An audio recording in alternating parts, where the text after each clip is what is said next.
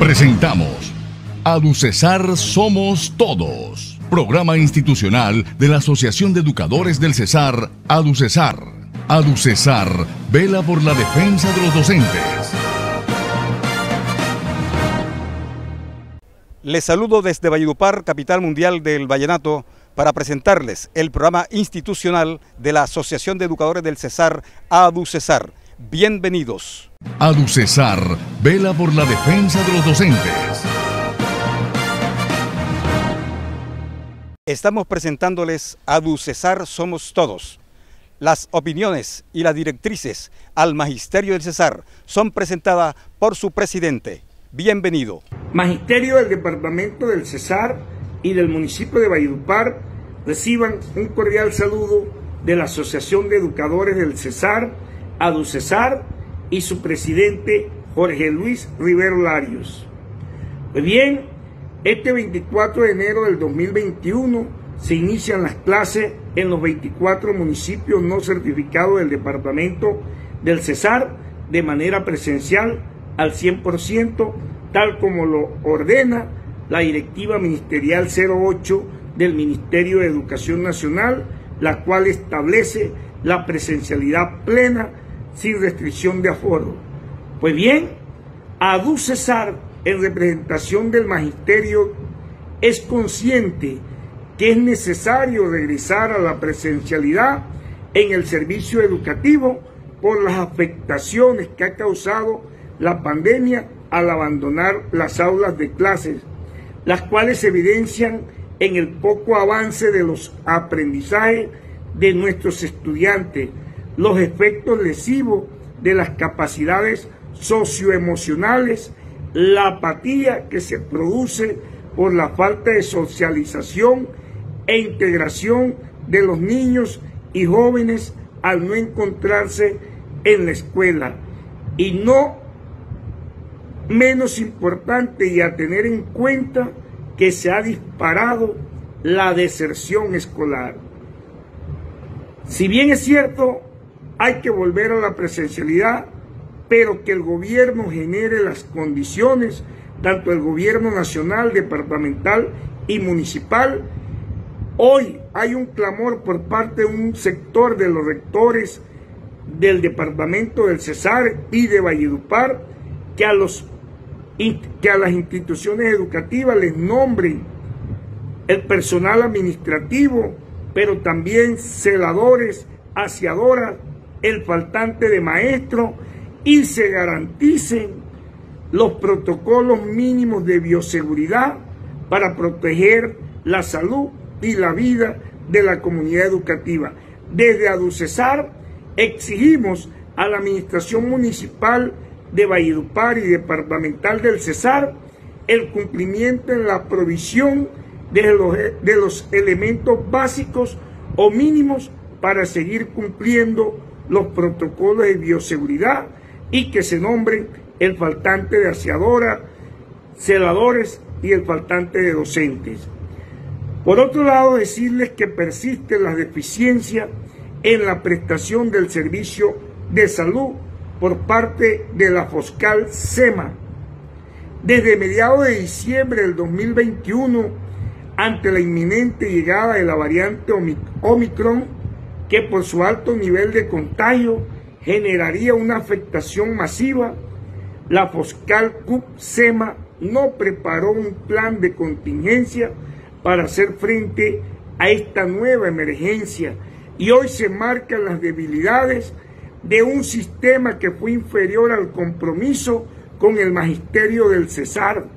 Un alto número de usuarios ha tenido inmensas dificultades para acceder a la atención por cita prioritaria, ya sea por tener síntomas asociados al virus o por cualquier tipo de dolencias o malestar. La Foscal SEMA son rápidas para acoger las medidas de restricción de servicios emanadas del Ministerio de la Protección Social y las Secretarías de Salud, pero demasiadas lentas para implementar acciones que garanticen la oportunidad y la calidad del servicio. Los enormes inconvenientes para acceder a la línea COVID son evidentes y se suma a este desorden la espera, la correspondiente atención médica, la entrega de medicamentos, la prueba a quienes la requieren y el certificado de aislamiento.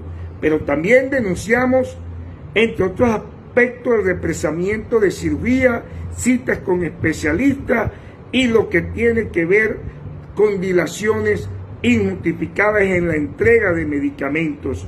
Por eso hemos solicitado una reunión urgente con los prestadores para poner de presente todas estas irregularidades. Finalmente, como es de conocimiento público, el gobierno nacional el pasado mes de noviembre expidió el decreto 1615 que en el parágrafo 5 establece que el gobierno nacional dará un día libre en el primer trimestre del 2022 a los servidores públicos y trabajadores oficiales que en el mes de diciembre completen sus esquemas de vacunación o apliquen dosis de refuerzo en los tiempos y ciclos establecidos por el Ministerio de Salud.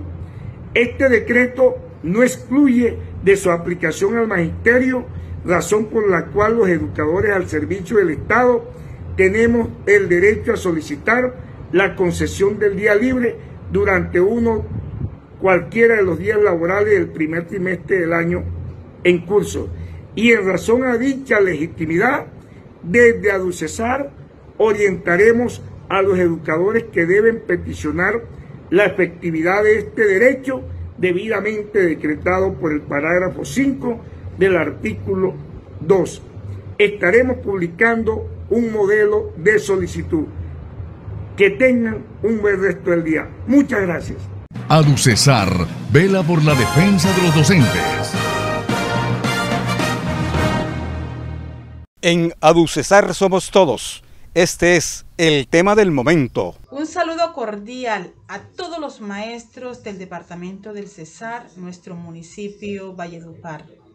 De igual manera, aprovechar estos espacios para saludar de manera cordial a toda la comunidad en general que se conecta a este importante programa ADUCESAR Somos Todos. Las problemáticas de los maestros aquí la escuchamos compañeros maestros, comunidad en general. Hoy, desde nuestro movimiento Renovación Magisterial, seguir liderando todas estas tareas y todas estas luchas para el mejoramiento de nuestra profesión y para la defensa de la educación pública. Preocupados estamos los maestros de Colombia y la comunidad en general por la decisión irresponsable que ha tomado el gobierno nacional, el Ministerio de Salud y otros ministerios para el regreso a la presencialidad de manera masiva y obligatoria. Esta decisión se toma hoy en los picos más altos que hablan las estadísticas en todas las principales ciudades de nuestro país. El gobierno de manera irresponsable lo hace, nos llama a la presencialidad obligatoria y nos expone ante este masivo contagio de la Omicron que hoy es una realidad incluso a nivel mundial. Pero además escuchamos a los secretarios de Educación departamental y municipal hablando alegremente por la prensa y dicen que es una realidad el regreso a la presencialidad. Claro, es una realidad y nosotros acatamos, pero si hay las condiciones de bioseguridad dispuestas para nuestros maestros y nuestros estudiantes.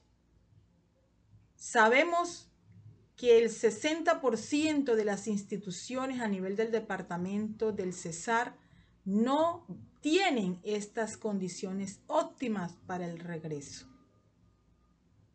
Y es el llamado que hoy le hacemos a los secretarios de educación del municipio de Valledupar, Iván Bolaño y a la secretaria de Educación del departamento, María Pamela García, que se acerquen, que lleguen a nuestras instituciones, porque quienes estamos preocupados en cada, de uno, en cada una de ellas son los maestros, que hoy están cumpliendo un horario establecido, porque ya se inicia, pero también vemos cómo están las infraestructuras, cómo están nuestras instituciones acabadas y que incluso en gran mayoría de nuestras instituciones no existe el precioso líquido, el agua.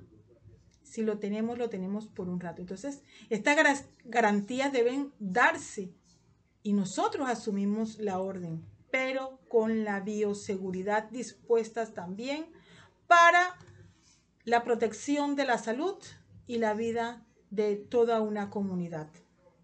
El llamado al gobierno nacional es que se respete lo establecido en la página 27, eje número 5, sobre la escuela de la presencialidad, que deben darse unas rutas a desarrollar.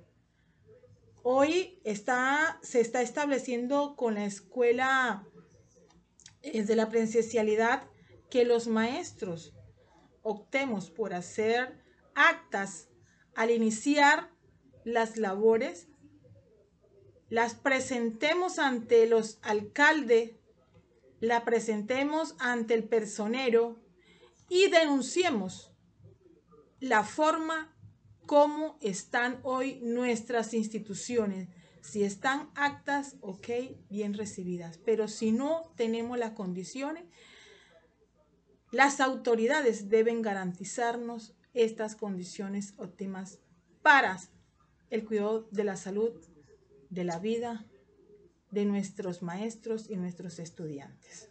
Aprovechamos estos espacios además para hacerle el llamado a los secretarios de Educación departamental y municipal ante la vigilancia que deben darse en nuestras instituciones. Sabemos que la contratación llegó hasta el 31 de diciembre del año pasado y que algunas instituciones se encuentran sin este servicio. Es para la seguridad de nuestros maestros y los estudiantes que están llegando también.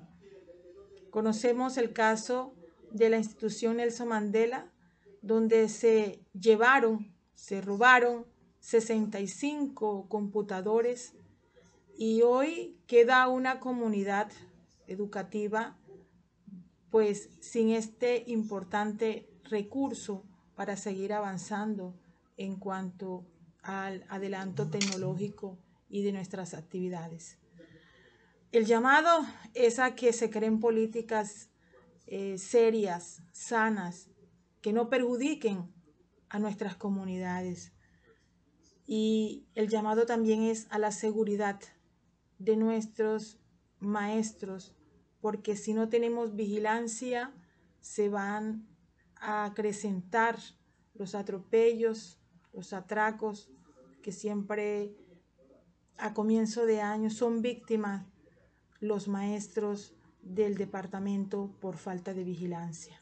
Informarle también a los maestros que eh, el gobierno nacional firmó el decreto 1791 el día 21 de diciembre para la evaluación de competencia diagnóstica formativa y nuestra federación y el gobierno pues están sentando con la intención de darle agilidad a este proceso que hoy 8.000 maestros están esperando. Eh, decirle que desde la Universidad Francisco de Paula Santander eh, estamos coordinando aquí en el departamento del Cesar. Eh, en la zona sur está la profesora Alime Uribe Pérez y aquí en Valledupar quien les habla coordina con la Universidad Francisco de Paula Santander está este curso de formación. Entonces los interesados pueden contactarme al número 314-551-5499 para brindarle eh, una mejor información. Aprovechar este curso de formación es la lucha de nuestra federación. Eh, son unos acuerdos que se han dado, que se han concretado y el llamado a los maestros es que no desaprovechemos esta oportunidad que se nos está brindando de seguir avanzando y seguir escalando en cuanto a conocimiento y en cuanto a pedagogía para poder eh, evolucionar mejor en nuestro ámbito educativo. Muchas gracias. Quien les habla, Milet Cadena. Y estaré pendiente con aquellos maestros que eh, llamen para poder orientarlo en este importante eh, evento que ya el gobierno junto con FECODE están direccionando para que se dé lo más rápido. El llamado es a la comunidad en general, el llamado es a los eh, maestros que estemos atentos ante las directrices de nuestra, de nuestra Federación Colombiana Trabajadores de, de la Educación FECODE. Muchas gracias, un abrazo para todos. ADUCESAR vela por la defensa de los docentes. Este es el programa ADUCESAR Somos Todos el programa institucional de la Asociación de Educadores del Cesar, ADUCESAR. La actualidad gremial la presenta un ejecutivo de FECODE. Bueno, un saludo vital, fraternal y pedagógico a todo el magisterio y a la comunidad educativa de ese bello departamento del Cesar, a Milet Cadena, secretaria general de ADUCESAR y lideresa de renovación magisterial en toda la región, y por supuesto a, nuestro, nuestra mesa de trabajo coordinada por el periodista Santiago Marmolejo. Bueno, las condiciones para la presencialidad en los colegios oficiales consignadas en la resolución 2157 del Ministerio de Educación Nacional, perdón, del Ministerio de Salud y la Directiva 08 del Ministerio de Educación Nacional de diciembre suprimen de manera inexplicable para todos los ámbitos educativos los aforos, el distanciamiento, a la vez que suprimen, a la vez que embolata la, la vacunación al considerar innecesaria la presentación del respectivo certificado.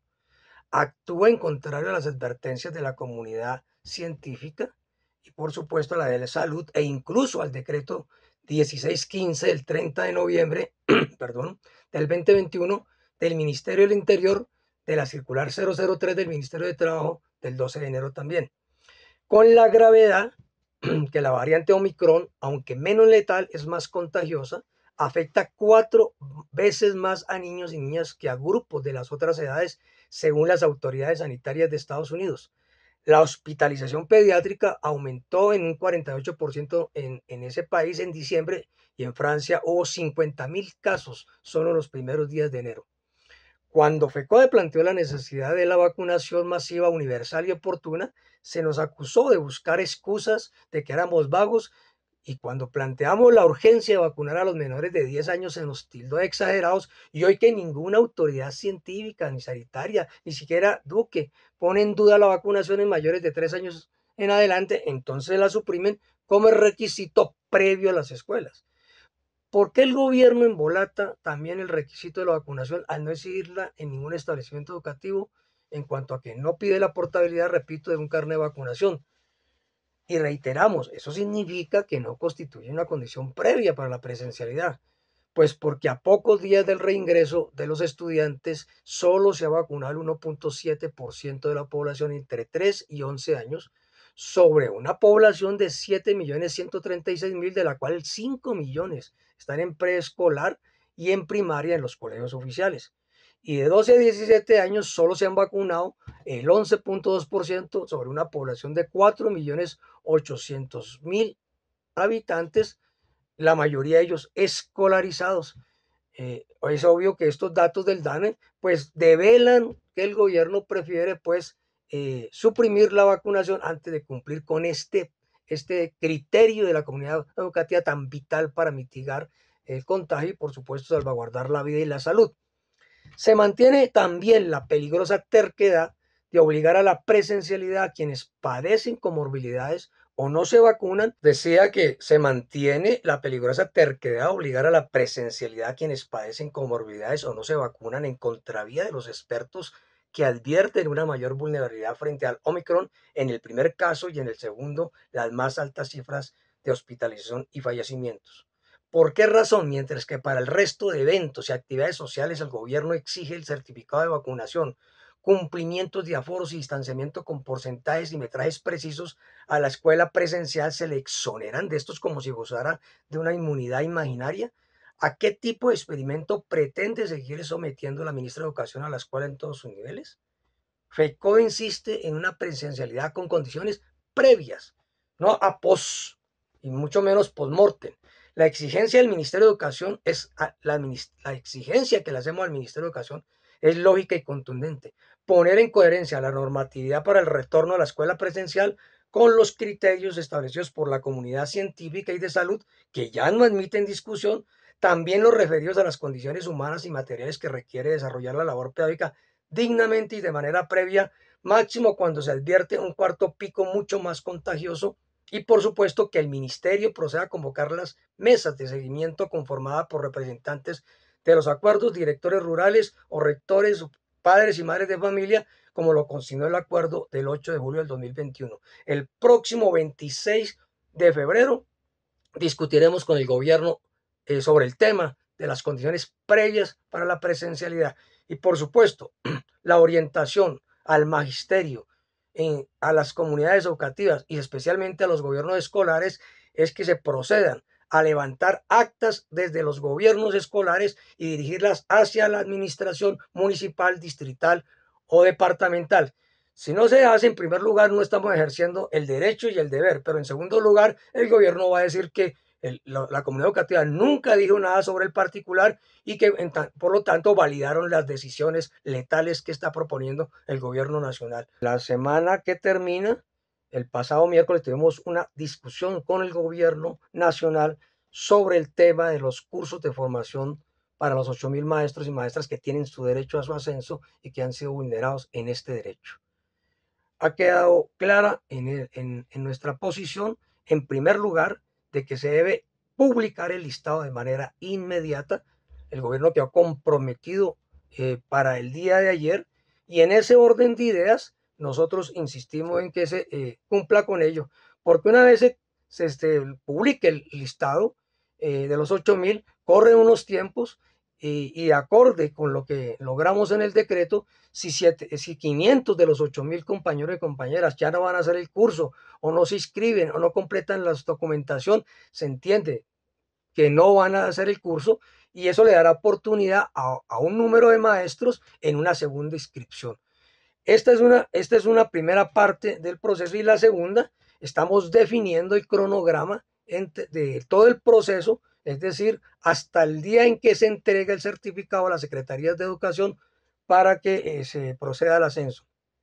En ese orden de ideas, el gobierno ha pues, propuesto un proceso hasta octubre y nosotros estamos señalando que debe ser hasta agosto, como eh, señalan los acuerdos de FECODE eh, y gobierno del pasado 6 de agosto del 2021.